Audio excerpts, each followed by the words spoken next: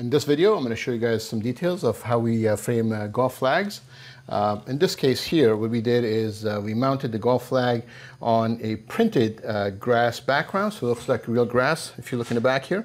And then what we call a spacer here, if you look around over there, uh, that's, that's to keep the um, glass away from the flag. So if you notice here, there's a glass, and then the flag um, little tube that goes in there, you know, that goes in the pole.